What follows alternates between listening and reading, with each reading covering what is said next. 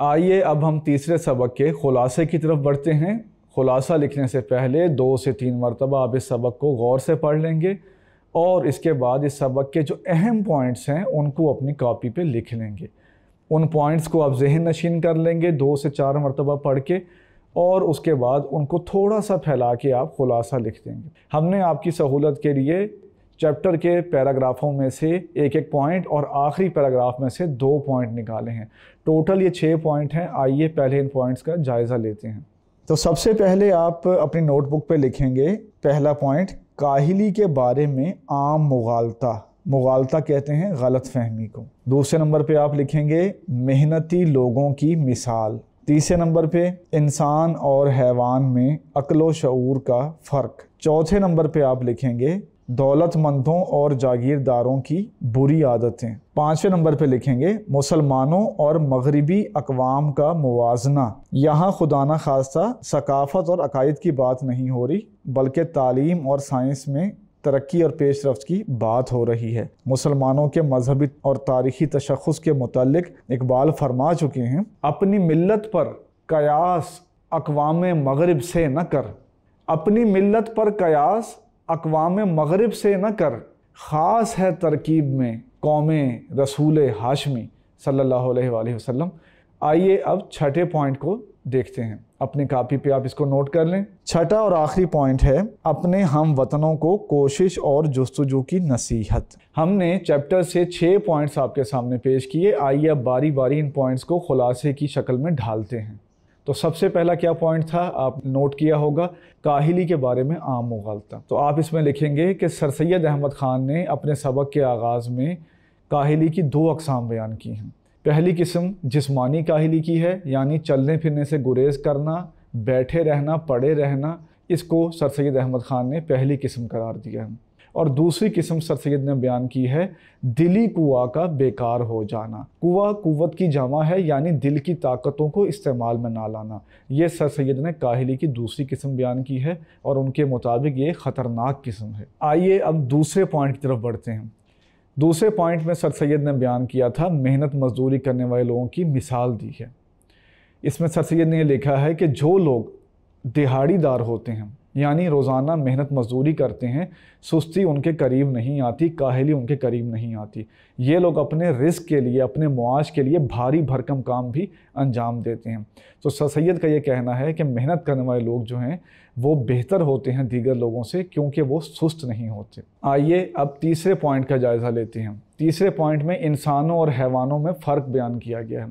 इस पैराग्राफ में सर सैद ने मिसाल दी है पढ़े लिखे लोगों की। वो ये कहते हैं कि मुसलमान कौम में बहुत सारे लोग तालीम हासिल करते हैं और आला डिग्रियाँ भी हासिल करते हैं।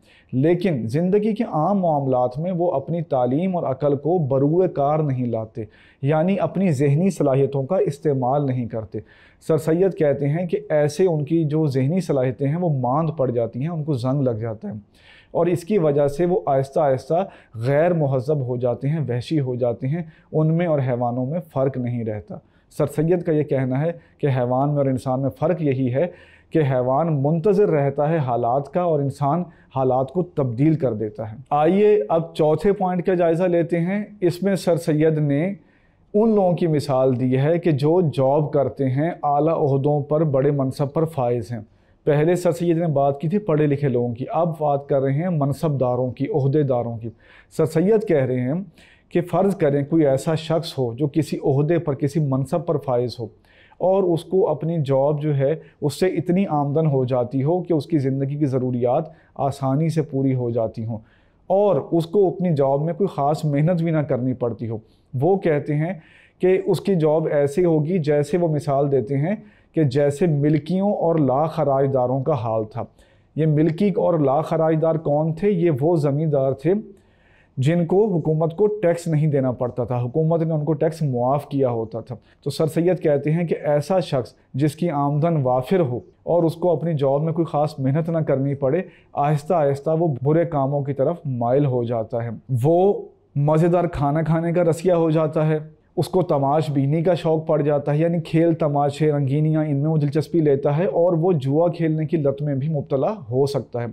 सर सैद कहते हैं कि ऐसे शख्स में और उसके साथियों में कोई फ़र्क नहीं होता। फ़र्क सिर्फ़ इतना होता है कि उसके साथी ज़ाहरी और बातनी दोनों लिहाज से गंवार होते हैं, वहशी होते हैं बद तहजीब होते हैं। और ये शख्स जो कि पढ़ा लिखा और किसी आला अहदे पर होता है, ये ज़ाहिर में तो बड़ा महजब होता है, लेकिन अंदर से ये भी अपने साथियों की तरह गंवार और गैर महजब होता है। सर सैद ने इसके लिए वज़ादार वहशी का लफ्ज़ इस्तेमाल किया है। तो पाँचवा पॉइंट था, मुसलमानों और मगरबी अकवाम का मुवजना। तो इसमें सर सैद ने हिंदुस्तान के मुसलमानों को मिसाल दी है यूरोपी ममालिक की, ख़ासकर इंग्लैंड की। वो ये कहते हैं कि यूरोपी ममालिक और इंग्लिस्तान इसलिए साइंस और तरक्की की दौड़ में आगे है क्योंकि वहाँ के रहने वाले अफराद जस्तजू करते हैं, कोशिश करते हैं, तदबीर को काम में लाते हैं। वो बैठे नहीं रहते, बल्कि अपनी जहनी सलाहियतों को इस्तेमाल करते हैं। सर सैद कहते हैं कि इसी वजह से अंग्रेज़ जो है दुनिया पर हुक्मरानी कर रहे हैं। छठा और आखिरी पॉइंट। इस पॉइंट में सर सैद कहते हैं, अपने हम वतनों को नसीहत करते हैं। वो ये कहते हैं कि हिंदुस्तान में रहने वाले लोग, उनको ये चाहिए कि वो सुस्ती और काहली छोड़ दें। वो ये कहते हैं कि अगरचे इस वक्त हमारे पास मौाक़े कम हैं, ऐसे शोबे कम हैं, साइंस के ूम में दिलचस्पी कम है लेबॉट्रियाँ कम हैं, इदारे कम हैं। हमें अपनी जहनी सलाहियतों को इस्तेमाल में लाने का उस तरह का मौका नहीं मिल रहा जैसा कि दूसरी अकवाम को मिल रहा है। लेकिन वो कहते हैं कि आहिस्ता आहिस्ता अगर हम जस्तजू करते रहेंगे, कोशिश करते रहेंगे तो हम भी ऐसे मौाक़े पैदा कर लेंगे जहाँ हम अपनी जहनी सलाहियतों को इस्तेमाल कर सकें।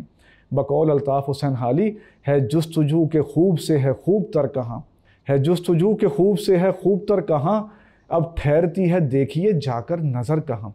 इन बातों को, इन पॉइंट्स की रोशनी में आप अपने लफ्ज़ों में लिख देंगे, मुख्तसर अंदाज में लिखेंगे तो आपका खुलासा मुकम्मल हो जाएगा। हमने आपके सामने इस सबक का खुलासा पेश किया और उसके अहम निकात पेश किए। इससे अगली वीडियो में हम नसर पारों की तशरी करेंगे।